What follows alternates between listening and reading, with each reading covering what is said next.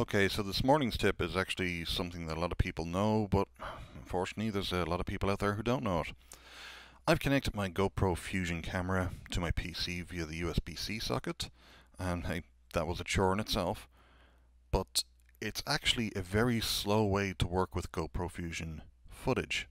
For instance, if I open the GoPro Fusion Studio and go to Browse Camera Media, it has to prepare the media first, and you're thinking, wow, it went to 17% already. Not really. I actually connected this previously and watched it crawl along all the way to here. So if you're working with the footage off your camera via the USB-C socket, you're actually slowing yourself down. And this is just preparing the media. This isn't even stitching the footage. So there is a quicker and better way to do this. And this is basically not to work off your camera. Instead, what you would do is you create a folder on your local hard drive here called Fusion and we'll do today's date. Now what we're going to do is we're actually going to stop this from happening here.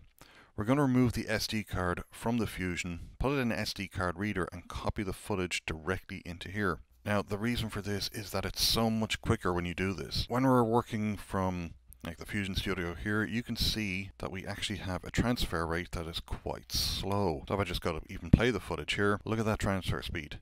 13.6. Wow, that is slow. However, if we're to do it another way, which is to actually open the camera and remove the SD card, put it in my SD card reader, CIM, back, now this same file, let's copy to the desktop here real quick. Look at the speed. 85.4 25 seconds whereas uh, before that one file was actually going to take over three minutes. So just from that standpoint alone you're actually saving so much time it's unbelievable. However you just can't copy the files straight across into the folder and expect it to work. What you need to do within this folder is create two more folders. And we're going to call them front and back. Now that we have our front and back folders, what we do is from the back SD card from the camera, we're going to copy the back information. So in this case, I'm just going to select the files that I made yesterday. And as you can see, that's nearly 10 gigs of information. Just put them in the back folder. But those 10 gigs 10 gigabytes are only going to take now 2 minutes 15 seconds. Okay, so once the back card is complete, what we want to do is remove our SD card that we've just copied the files off and insert the other GoPro SD card. And this here is the front card. And we're just going to copy the same files from the same date into the front folder. This is only 8.54 gigabytes because it doesn't include things like the WAV files that were on the other SD card. So this goes a little bit quicker, but as you can see, compared to the transfer rate of connecting up your GoPro directly, this is so much faster, and that will make all the difference when it comes to actually stitching the files. Okay, so now they've both copied across, so we have the front folder and the back folder, and they are both in this folder here, Fusion 11.5.2019. So, how do we add our camera media to the GoPro Fusion Studio? Well, we open up the GoPro Fusion Studio, just like so. And then we click on Add Media. So in this case, our folder is on the desktop.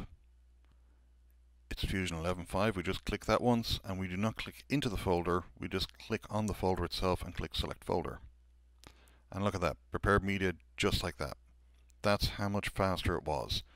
Now, all it's doing here is preparing the two trips I recorded, and this will take a few seconds still, but again, it is so much faster than if you were trying to read directly off the camera itself.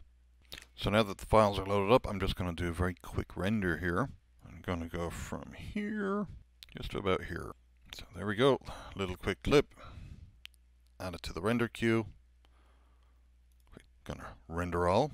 And again, because I'm working on a folder off the desktop, this is going to be much faster than actually when I try and work with the same footage directly off the camera. So you've been having slow stitch times One of the reasons is because you're working directly off the camera and not off your folder with the SD card information copied across. So as you can see, it's taking its time here, but this is so much quicker than working directly off the SD cards. So that's your DemonView tip for the day. Don't work directly off your camera. Copy the information onto your hard drive, and if it's an SSD, that's even better. And that will speed up your process so much more.